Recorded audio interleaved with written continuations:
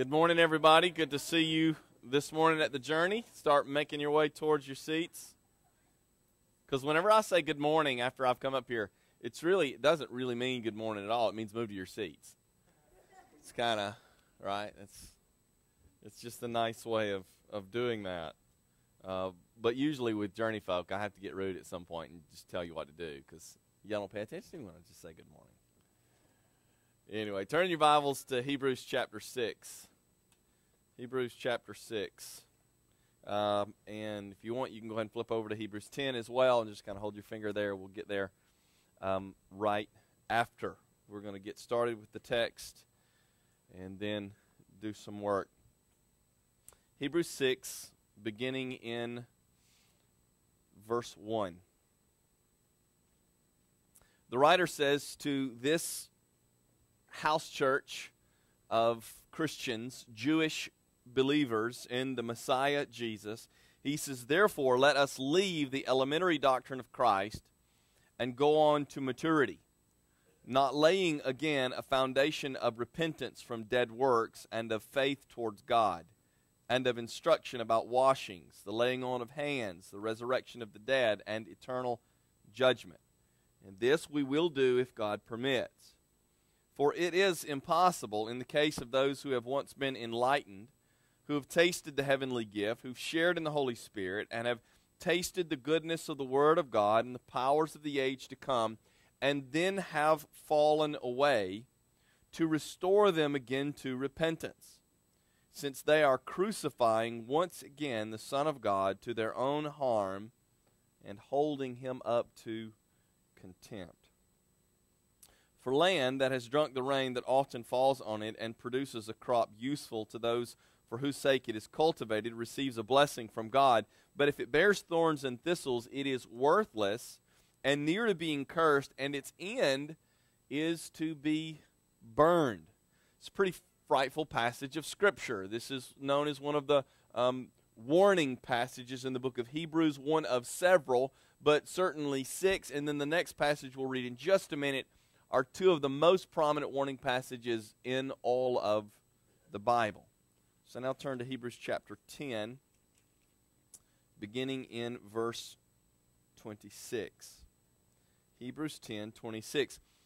For if we go on sinning deliberately after receiving the knowledge of the truth, there no longer remains a sacrifice for sins, but a fearful expectation of judgment and a fury of fire that will consume the adversaries.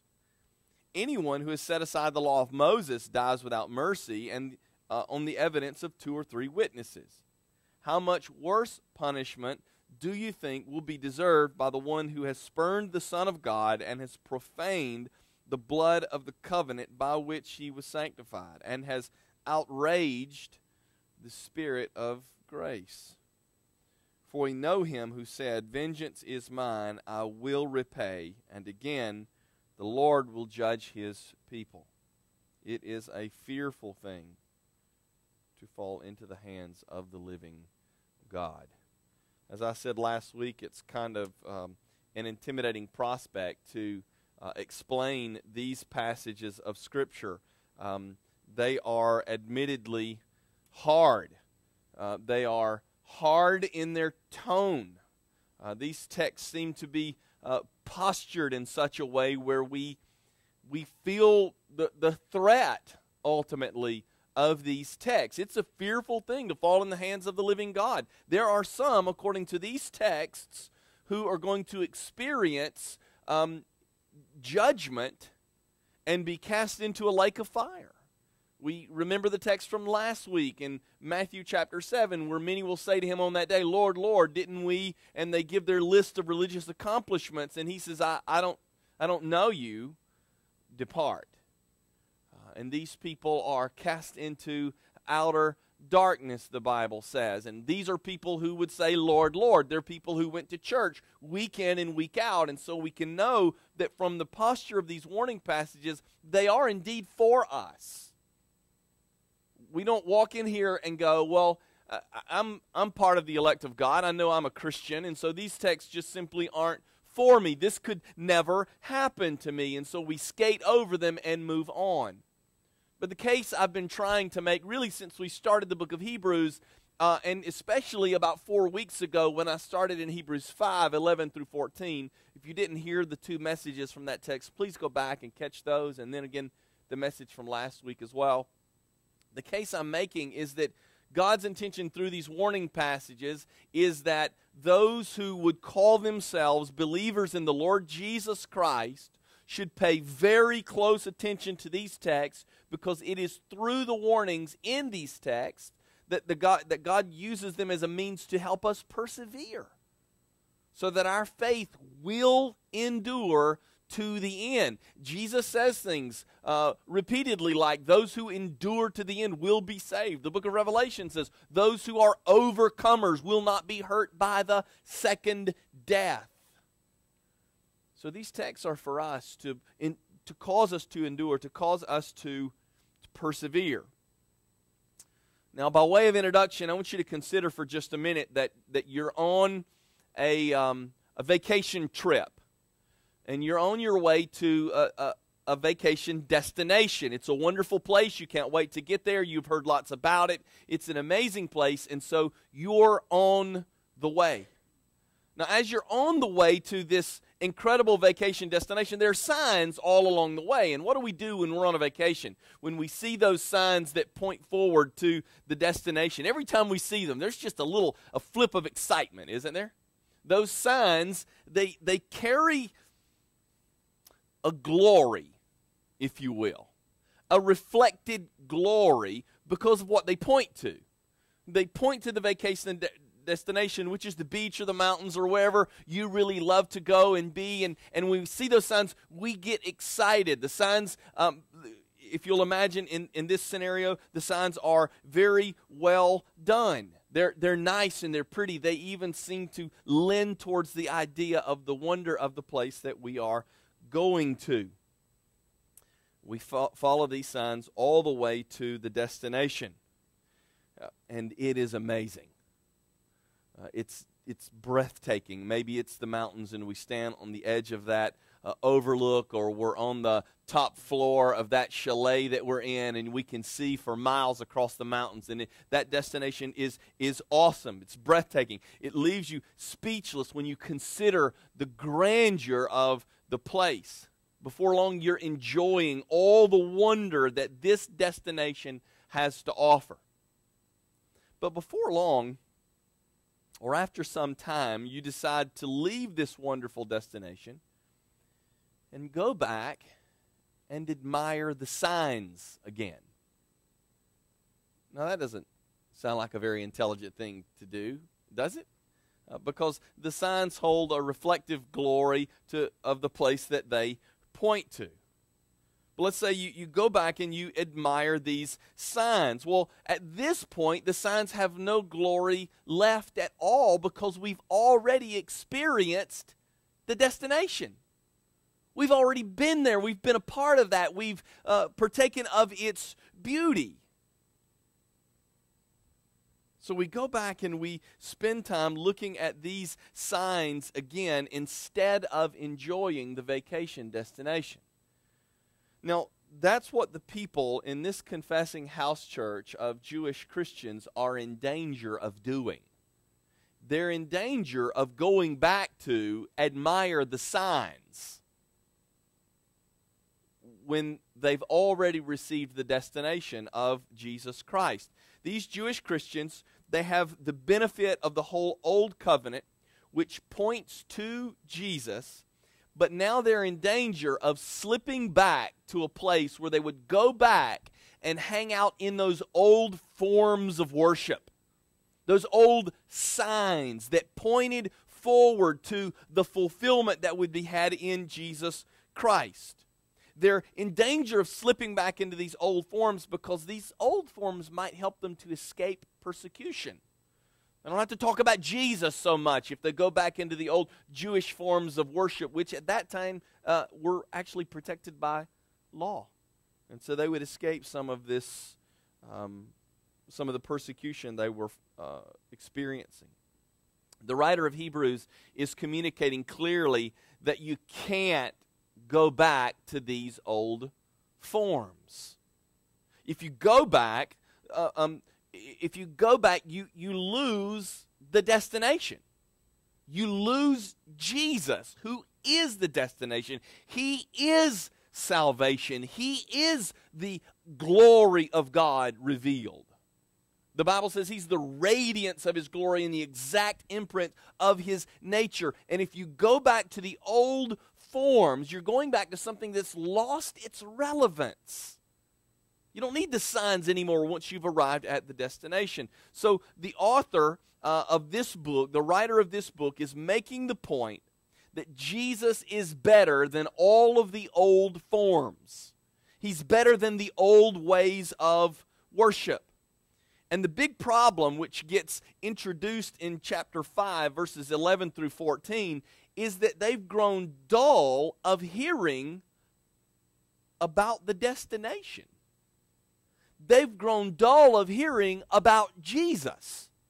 They're no longer amazed by the grace of the story of the rescue that he brings through his person and work. They're just not listening. They're not paying very much attention not amazed by the gospel anymore. And so as a result, Hebrews 5 says that their ability to discern good from evil has been compromised, and now they're making all kinds of concessions to the world.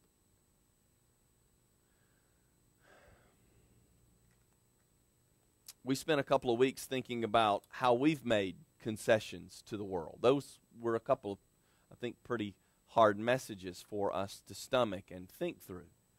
We've made all of these concessions to the world, and our discernment doesn't work so well anymore if we are not drenched in the Word of God, if we're not in it, reading it, praying it, pleading its promises, then we're growing dull uh, to the work of Christ around us. So we need to wake up. Hebrews 6 and Hebrews 10 tell us we need to wake up because just ahead on the river of life is a 200 foot drop called judgment. Just ahead is this drop. And so we need to wake up. We need to wake up and make sure that we are not holding fast to the things of the world, the concessions that we've made, that in our dullness we end up going over the falls to our own destruction. So this brings us to today's text. And so I promised you last week we would actually walk through the phrases of Hebrews 6 so that we can get an understanding about what he's talking about.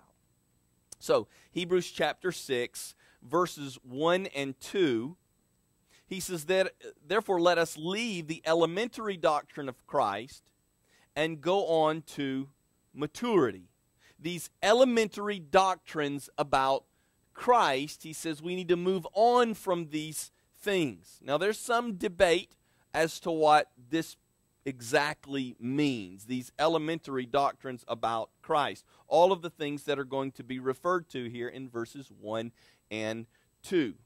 Uh, there's some debate uh, about it, but I, I, think that a good reading of the Bible, a, a reading of the Bible where Jesus is seen and understood, as the center of everything. When we read the Old Testament, we understand that the Old Testament is really about Jesus, and the Old Testament is pointing to Jesus. Any story, anything in the Old Covenant is always pointing to the one who would come and fulfill its requirements. When we read the Bible like this, I think it starts making clear what he means by these elementary doctrines about Christ. I think he's referring to aspects of the Old Covenant system that previously had glory, just go back to the analogy of the signs. These aspects of the old covenant system, they had glory so far as they pointed us to incarnate glory. The signs, the old forms, old aspects of Hebrew worship. They had glory so far as they pointed to the embodiment of glory in Jesus Christ. In fact, I think that each of these phrases that he uses in verses 1 and 2 points to their fulfillment in the high priestly work of Jesus, which has already been discussed and over the next chapters uh, will be explained comprehensively in, in uh, chapters 7 through 10 in particular. Now, if you want to understand these things better, you can go back to, we, we did a series the first of the year uh, through the book of Leviticus. T- to date, one of the, my most favorite uh, series ever. I got to preach a whole sermon on leprosy, and that was just, that's a lot of fun, right? When you think about pus and infectious diseases and things like that. So go back and you can catch some aspect of these old forms of worship. So I think what he's talking about here is pointing towards the high priestly work of Jesus. So if we look there in 6, verse 1 again, he says, We leave the elementary doctrine of Christ and go on to maturity.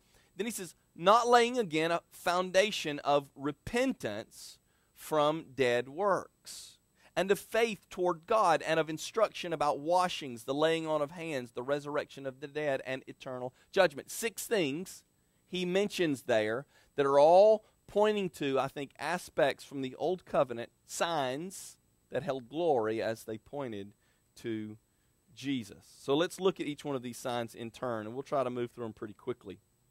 Let's consider the idea of repentance from dead works, he says. We're going to move on past the, these elementary foundational doctrines, um, the repentance from dead works. Well, repentance from dead works would point forward to Jesus as the one through whom the substance of repentance would be offered. Jesus preached, repent and believe the gospel. But when you and I repent, which means to turn our backs on sin, to confess it, ask forgiveness for it, return from it, and move towards Jesus, when we repent, that is a clear pointer, and it was for Moses and Abraham it was a clear pointer towards the one who would actually take the penalty that sin deserved so that repentance could be had. We couldn't have the forgiveness of sins. Moses couldn't have the forgiveness of sins unless Jesus would come and die for his sins. So, this repentance from dead works points us forward to what Jesus would do as he would um, take the penalty that sins deserve. So the gift of repentance that Ephesians 2 8 and 9 tells us that repentance is a gift, this gift was secured or made possible by the work of Jesus on the cross. So the repentance from dead works is an Old Testament form of worship that would have its fulfillment in Jesus who provides the substance of repentance. Now consider the phrase faith towards God. This was an element of the Old Covenant which corresponds directly uh, to the now revealed object of faith. Who, who is the now revealed object of faith? Well, Jesus is, is the revealed object of faith. Not revealed in the Old Covenant, but revealed fully and completely in the New Covenant.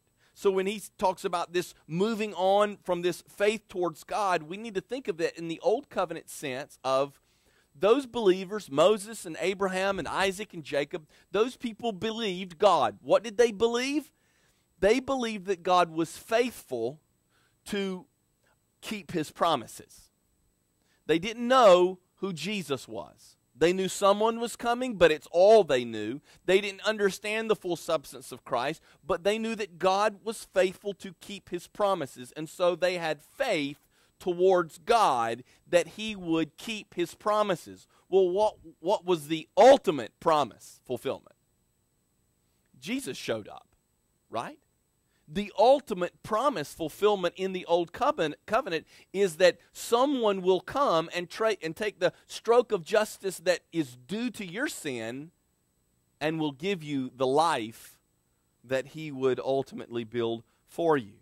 In the old covenant, these people believed God, and the Bible says it was reckoned to them as righteousness. Galatians 3 6 says, Abraham believed God, and it was counted or reckoned to him as righteousness. What did they believe? They believed that God was faithful and that he would keep his promises. So, this is that which uh, faith towards God uh, leads to, it points to, it's a sign that points to belief ultimately in Jesus Christ. The next sign he gives us is the sign of instructions about washings. if you remember in in Leviticus, uh, we talked a lot about their, their ceremonial and purification system. They had to wash for everything because you could get dirty by everything. Everything brought some kind of impurity, some kind of defilement. If you uh, touched a dead person or a dead animal, uh, I- anything like that would, would bring impurity. If you are around someone with a, a, disease, then you could be impure. If you had a skin disease yourself, then you were considered impure. Um, if you ha- were guilty of any sexual misconduct, you were impure. And not just sexual misconduct, but even if you had uh, enjoyed God's uh, design for sex in a biblical way, you were still impure for a while. So uh, there were all of these impurities that came about through normal day to day living, not just sinful things. And so they had to wash all the time. Well, certainly we can think of what these washings would point forward to, right? Jesus, who would wash us in his blood, and we would be forever pure. So Jesus could say to his disciples in John chapter 17, You are already clean because of the word I've spoken to you. And so the instructions about washing, their, their fulfillment, the, the substance of their content was Jesus, who would wash them forever in his blood. You see, the point is that we as people are, are, dirty and need cleansing in order to be in a relationship with God. And he said these were foundational, elementary things in the Old Covenant. We leave those Old Covenant signs because Jesus is here and he has made us clean. Then there's the laying on of hands. The laying on of hands. This refers to the ordination of priests under the old covenant who mediated that covenant. In the old covenant, you needed priests. You needed lots of priests because there were lots of people and lots of sin that needed to be atoned for. And so the whole sacrificial system was set up by God so that people could experience the forgiveness of sins because those animals pointed forward to another death. Whose death was that? That's weak. Whose death was that? Jesus' death. And so these priests were critical to the, the program. And so there was an ordination of priests. Their hands would be laid on them and, and, and prayers would be had so that these men who had come of age could now become priests in the service of Almighty God. Well, this would surely point forward to another ordination Jesus is baptized and the Holy Spirit descends on him in the form of a dove, demonstrating here's the one true high priest. He's the high priest and he's the Lamb of God who takes away the sin of the world. So leave this whole idea of you need a human priest through the laying on of hands and recognize that you have Jesus Christ who's the one true high priest ordained by God Himself. You, you got to press on past these things. He's saying don't revert back to these old ideas, these old forms, these old signs. And then we have the, the last phrase, speaking of two things the resurrection of the dead and final judgment. Both, both of these things are promised in the Old Covenant, and both of these things point again to Jesus. You see, Jesus would provide the ground for resurrection by himself doing what? Raising from the dead. Where does the resurrection come from that we hope to attain to? By the fact that Jesus Christ could not be held by sin and death. And so this points forward to the fact that in the book of Psalms it says, You will not allow your Holy One to undergo decay. He, he's not even going to be in that tomb very long. He's going to come back, he's going to rise with authority and power. And so the resurrection speaks forward or points forward to Jesus who would rise and provide for our the immortality of our souls, that we would be raised with him. And then final judgment, of course, referred to a test that must be passed. A test that must be passed. Make no um, mistake. There is a test at the end of your life. There is a test at the end of your life. And whether or not you have passed that test will determine whether or not you spend eternal life in glory with God. The great hope of the Christian is that Jesus takes the test for us. The great hope of the Christian is that Jesus stands before the bar of God and says, I have fulfilled all the law for him. And so, judgment, final judgment, even points forward to the only means whereby we can pass the test through Jesus. They would need an advocate, and Isaiah 53 tells us of the one who would pay for their failures and make the many righteous. He would cause us to pass the test. So every phrase in these two verses refers to signs from the old covenant that now completely give way to the fullness of form in Jesus Christ. He's our vacation destination. He's where we arrive at. He's the one that we're supposed to be mesmerized with uh, until we go to be with Him and become like Him. And He says, press on past these old things. Don't revert back to those things. So, how is it that these things are relevant for us? Probably not many of you are tempted to go back to Old Testament rituals of ceremony and purification. Are you? I mean, have any of you thought this past week that, I mean, you, you need to make sure that you're clean from um, uh, some impure thought, and so you have to go wash to get clean of these impurities? have any of you wanted to uh, observe Jewish feasts or festivals this past week? so, what do these things have to do with us? Well, at the core, at the core of these things in verses 1 and 2 is a temptation to revert back to a moral code. It's a temptation to revert back to a moral code as our confidence. And, and this is how we can find very specific application for us.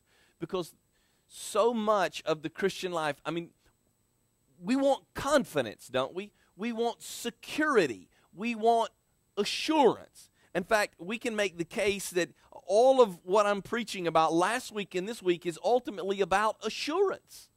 It's about the confidence of knowing that we are in Him. And so many times we misplace our confidence and we think that through adherence to some moral or religious code, if we're obedient and we do well enough, then, then we can have confidence. We can have assurance that we're doing well.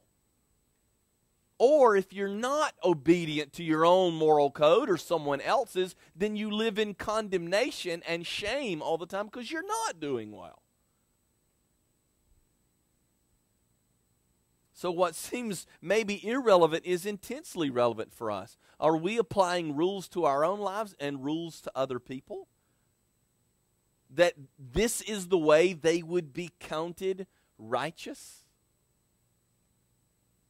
It's easy for us to find safety and security in the rules. We like order. More than that, we like to make our own order and expect for everyone else to conform to it. And he's saying you can't revert back to these kinds of things. You can't revert back to these kinds of things. Uh, anytime we try to promote our way as the right way, it just sets us up for one radical dispo- disappointment after another. But if we want true confidence, we have to look outside of ourselves. If we want true assurance, we have to look outside of ourselves. Jesus is our confidence, He is our assurance. And falling away from Him as such is a terrifying thing to consider falling away from our confidence, falling away from our security, for, from certainty and assurance. Falling away from these things is a ter- terrifying thing. And so we move now in our text to the explicit danger of falling away. The explicit danger of falling away.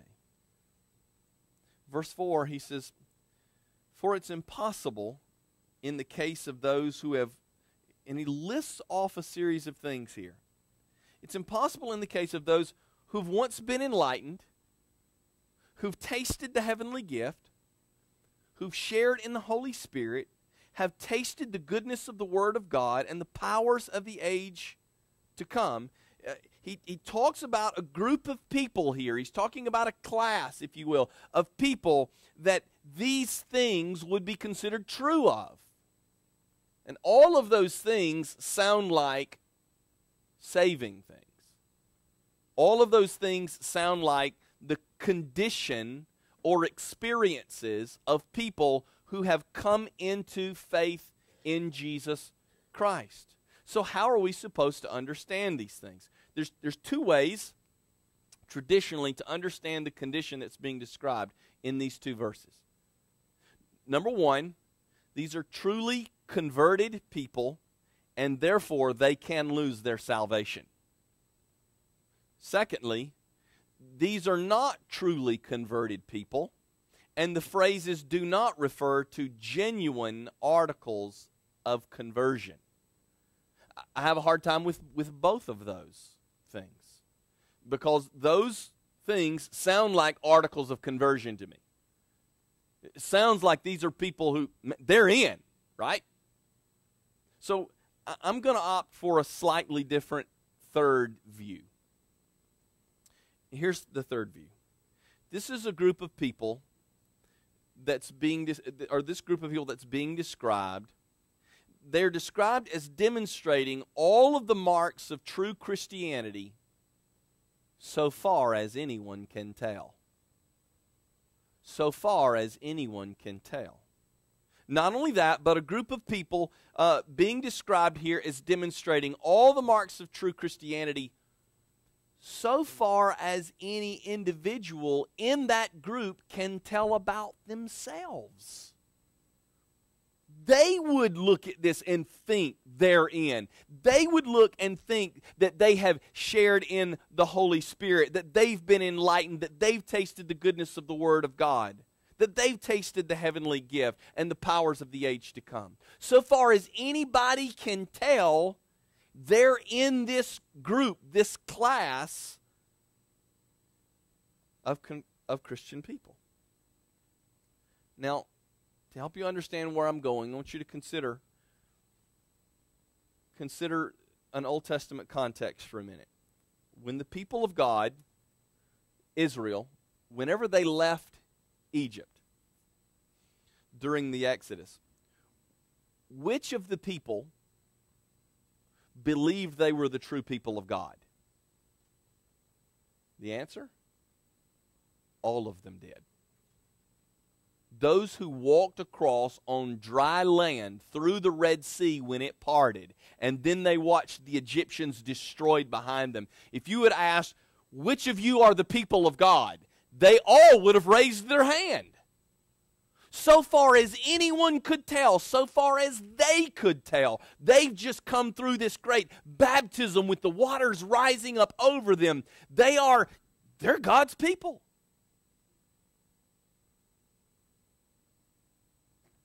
Which of them drank water from the rock and was sustained by it? All of them did. Which of them ate manna that was provided by God every day? All of them did. Which of them believed God and it was reckoned to them as righteousness?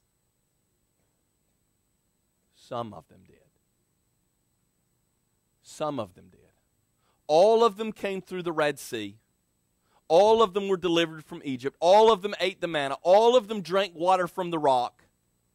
They were all part of the visible people of God. But only some of them believed, and it was reckoned to them as righteousness. In the Old Testament, we have a, a term, a, a word referring to that group of people. It, it's known as the remnant. You have a great group of people, and then there are a remnant of the truly converted. Many of those who were of the people of Israel were not the true Israel of God. Hebrews 3 makes the case that their bodies fell in the wilderness because of unbelief, and yet they were part of visible Israel. Visibly, they were part of the people of God. They would go through the motions of worship just like everyone else. They would go to temple worship, they would obey the ceremonies, they would do all of these things in the law. Just like many of the people who receive the word and respond with immediate joy, but do not persevere through trial. That story's told in the New Testament, the parable of the soils. Jesus in Matthew chapter 13 says, Some hear the gospel. They respond to it immediately with joy. They, they spring up. Their, their plant of conversion, if you will, springs up. Looks good on the face of it so far as anyone can tell. They are in the elect, they are in the redeemed group.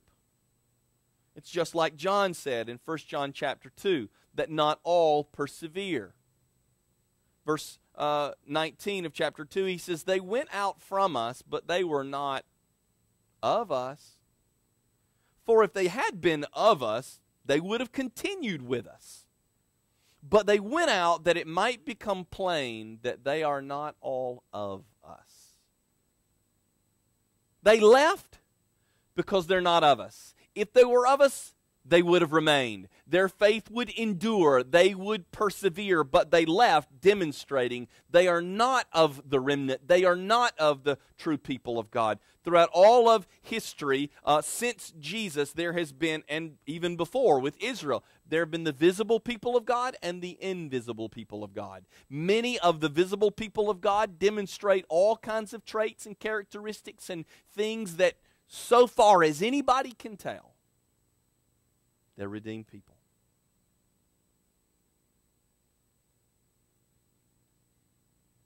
Paul referred to two men named Hymenaeus and Alexander, who no doubt started extremely well and showed great um, potential, and yet they made shipwreck of the faith.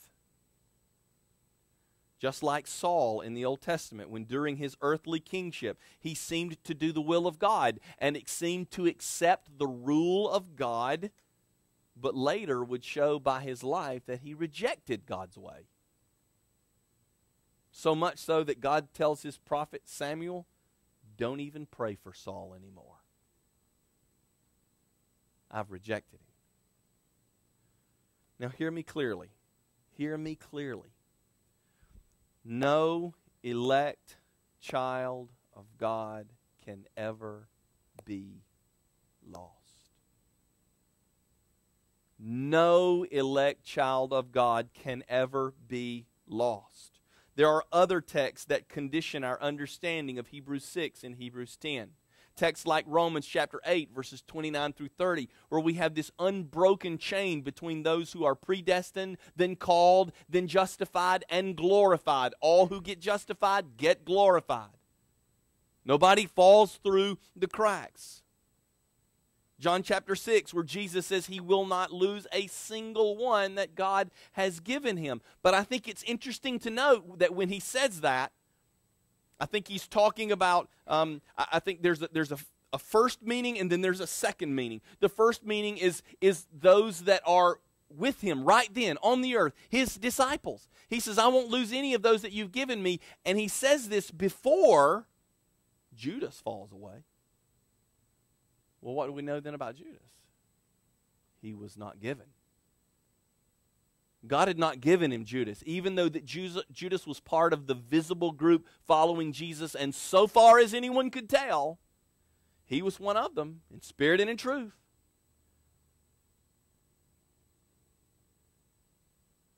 But the elect children of God are demonstrated to be so by their imperfect but final perseverance. Imperfect but final perseverance. We know the elect by their persevering faith. Many begin well. Many, as our text says uh, later in chapter 6, verse 7, for land that has drunk the rain. A lot of people sit in church week in and week out, drinking the rain of God's preached word, drinking the rain of the gospel that falls down and saturates and sits in this wonderful, uh, uh, this context of grace and mercy where the work of Jesus Christ is preached as all sufficient. Many people sit under that rain week in and week out. They hear the gospel. It was even understood by them to some degree. And to everybody around watching, it seemed like they got it. Like they understood. They seemed joyful and receptive. And then they fell away. Almost always by degrees. If you remember from last week, I said we don't get into the condition uh, of, of, of this close to perishing. We don't get into this condition overnight. It's a falling away by degrees. And then he says about this group, he says about this group who, so far as anyone could tell, have the marks of true conversion. He says, if they fall away, it is impossible to restore them again to repentance. That's really scary. That's really scary, right? It's impossible to restore them again to repentance. I can only conclude one thing from this uh, expressed in a couple of different ways. That those who fall away in the manner of this text, and I do think that, that the manner of this falling away is specific. I think the manner of this falling away is specific. We have to consider the context of who he's talking about. These are Jewish Christians, or Jewish confessing believers. They're, they're thinking about reverting back and saying that Jesus in his sufficiency, I, I don't want that anymore. So this is a, a particular kind of falling away. Those who fall away in this manner will never seek repentance. I can conclude that from this text. Those who fall away in this manner will never seek repentance, or that those who fall away in this manner are committing what Jesus calls blasphemy against the Holy Spirit. Because we only have given in the Scriptures one unforgivable sin. Jesus says every sin committed by people can be forgiven, except blasphemy against the Holy Spirit, which is a persevering disbelief in Jesus and his work as divine. It's to attribute to Jesus the status of common. Maybe even to attribute the status of Jesus as evil.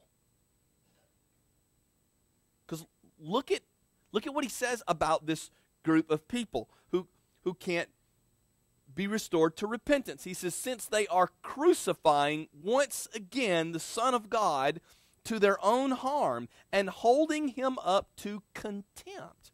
Now, I really struggled. What does it mean? Uh, that, what does that mean? I mean, Jesus isn't dying all over again, most assuredly through the disbelief and the rejection, uh, the blasphemy of people against Christ and his work. He's not being crucified again, and yet he says they're, they're crucifying him um, once again, the Son of God, to their own harm. What does this mean? It means that they would consider the crucifixion of Jesus Christ as having been either a terrible misunderstanding or his just desert. They would hold him up again to contempt by saying he was common. His, I don't need his death. Those who would persevere in disbelief uh, in Jesus and his work as divine would say that his death had no saving efficacy for anybody. Jesus' work couldn't make anybody clean. Jesus' work couldn't um, give anybody relationship with God. And so they would be saying he was just a man. That's uh, that's to hold the Son of God to contempt. That's to crucify him again, is to consider his crucifixion to have been a just thing that he deserved, or either just a misunderstanding. So, what's clear to me from this text is that those who fall away in this manner do not and cannot seek repentance. They do not and cannot seek repentance. Now, I think we have to be very careful, very careful, not to try and make case studies for this. Let me explain what I mean. Let's say you know some 18 year old boy or girl, and they grow up in the church all of their life, and they seem, so far as anybody can tell, to be Christian people. And they go away to university and uh, they spend a few years there and maybe take some philosophy courses and whatever else. And within two or three years, they're just full blown agnostic or, or, or even an atheist. And we would go, that's, that's the kid this verse is talking about. And I would say we should be very careful about trying to make judgments and say, yeah, this guy's a case study for this text. This guy proves this text. No, you don't know. You don't know. Because we also know stories. Pastor Bill, here at the journey, left a Christian home, went to college, came out a full blown atheist. And yet it is clear that he has been restored again to repentance. He is one of God's children and leading well here in this place. We can't make case studies. So somebody would ask, is the person in my illustration, uh, is that the person that is being talked about? I don't know. That is the point. I nor you can tell. I nor you can tell. Um, the odds show that probably some of your children will grow up and leave the faith. I have five children. The odds are good is that, that one of them walks away from the faith. My hope would be that they'd come back. My hope would be that they would come back. That they would endure to the end. We know these stories of people who have returned, who have been restored to repentance. But those who apostatize in the manner of this text cannot be restored to repentance. What I know is this if you are in the faith, so far as anyone can tell, then your focus should be on persevering. If you're in the faith, so far as anyone can tell, your focus should be on persevering.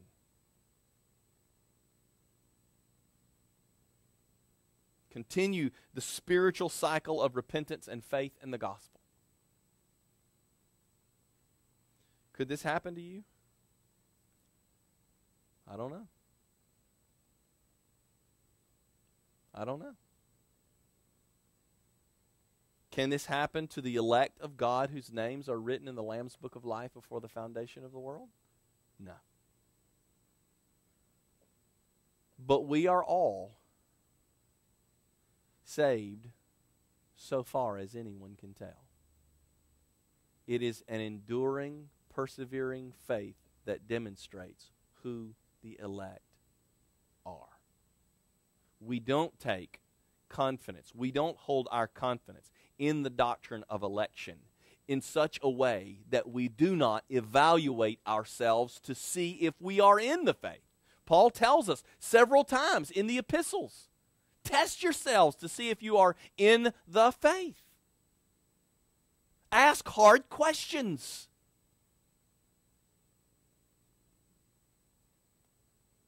What is it that can bring this condition about?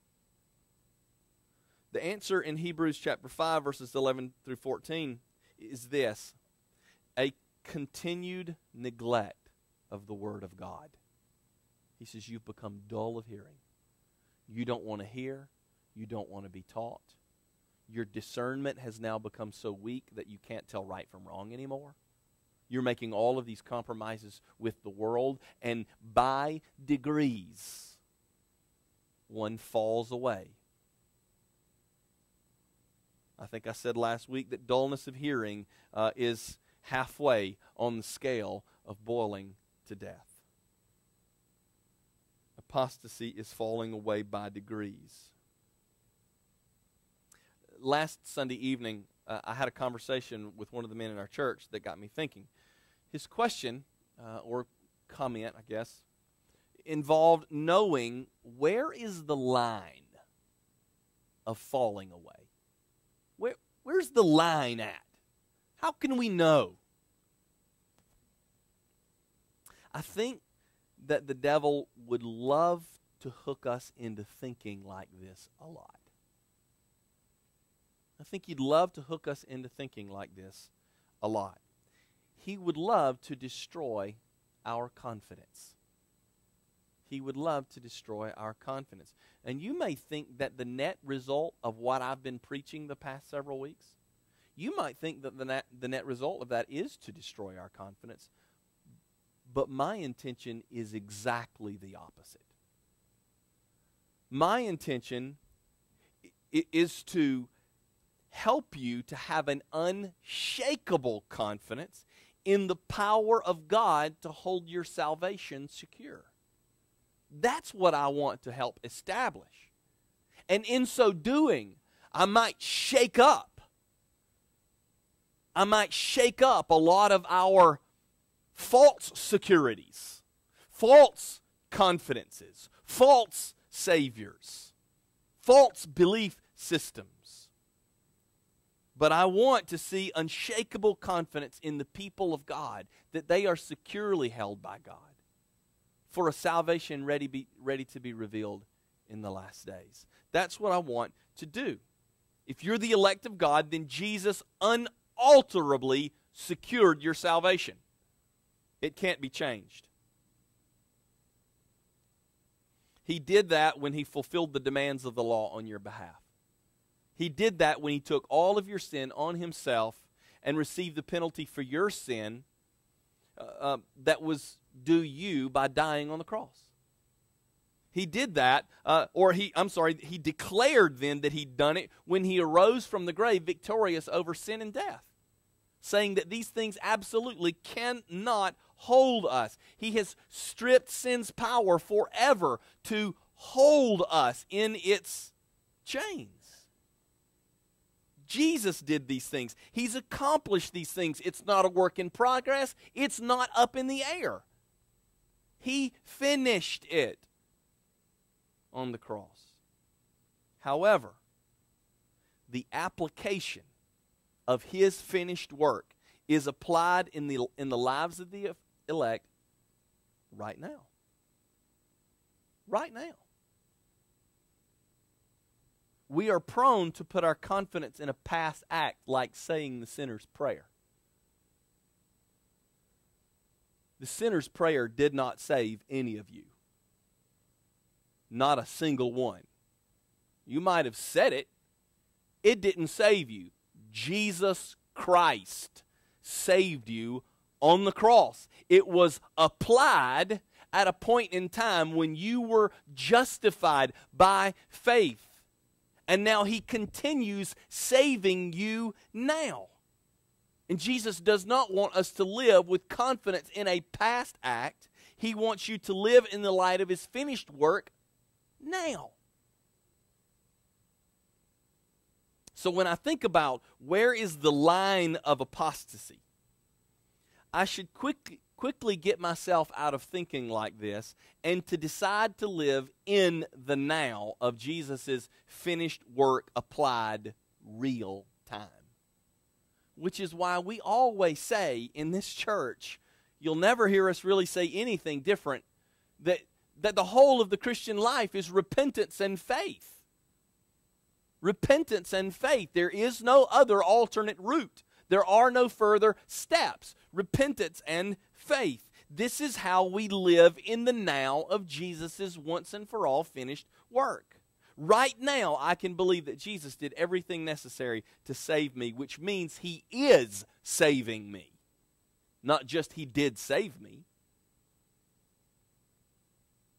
Now, someone might ask, what about the moments of unbelief? What about the moments that, that we're not believing the gospel because ultimately, when we sin, we're not believing the gospel. What about those moments? Is, is Christ's finished work holding me through my unbelief? Certainly. Certainly. I got a text to prove it.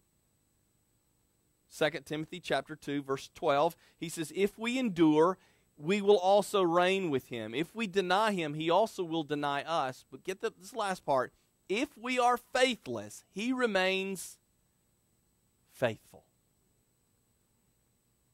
for he cannot deny himself so when i recognize my faithlessness right there at my side there is a gift ready and waiting to be used all over again for the 10,000th time. That gift is repentance. It's the gift that never quits giving. And so, anytime, any place we are ever at in the Christian faith, when our confidence is shaken to the core, what you have at your disposal right then is repentance and faith. So we shouldn't get caught up in all of these uh, questions about where is the line of apostasy. I know it's it's easy to hang out there and to live in, in places of fear, but God has not given us a spirit of fear, but a, a spirit of a sound mind and of power, a spirit of faith.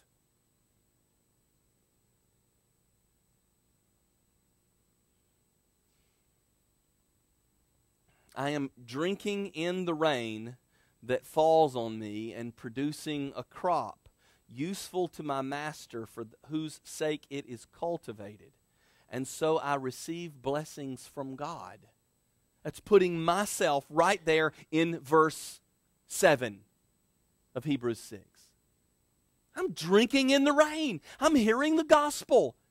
He's turning me to repentance and faith continually and I receive blessings from God for it. Question gets asked well, how long can I go in faithlessness? How long can I persist in rebellion before apostasy occurs? That's kind of like asking, how far can I go with my girlfriend before it's sin? They're not good questions. They're not good questions. The thing for me to know is that Jesus' finished work is available to me right now. And so I believe it. Turn away from sin and believe the gospel afresh. So I want to live in the now. I don't want to live in a past experience. Sanctification now is justification past applied and the new creation embraced. That's what sanctification is now, and it's changing me. It's changing you. We sin, absolutely. Yes, the biblical writers sin. In fact, the story of the biblical writers is that they were spiritual flops much of the time. Abraham, the great father of our faith, passed his sister or his wife off twice as his sister so that he wouldn't get in trouble out of fear. They were always blowing it and always repenting and believing.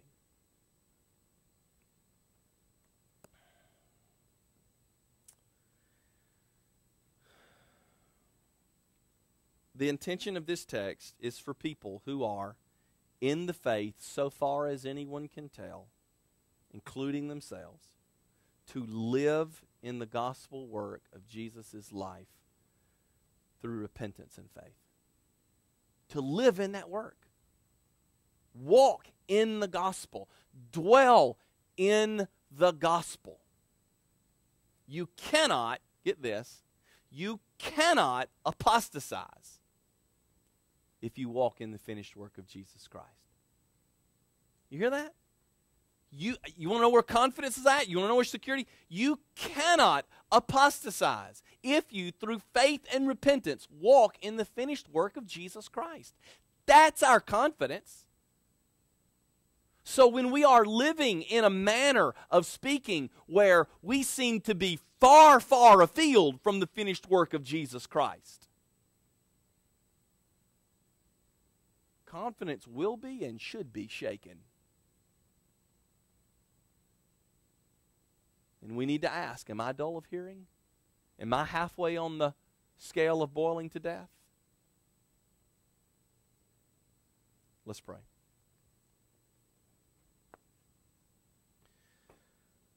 Father, we preach this way because we are passionately concerned about the salvation of our souls. We are passionately concerned that each and every one of us be found in Him. Not living with confidence in some past act, and so maybe deluding myself about present reality. Confidence in some past experience that may or may not be fact at all.